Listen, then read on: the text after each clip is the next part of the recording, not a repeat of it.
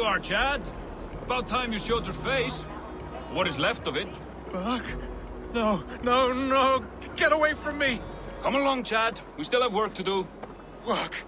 You still want me to work? I can't even see my own hands, you heartless bastard! He says you blinded him. Aye, that I did. What is a leader to do when his men can't take their eyes off his treasure, even after several warnings? I... I was not looking! You stabbed my eyes out! Quiet now, Chad. Come, hand him over to me. Do your best to follow me, Chad.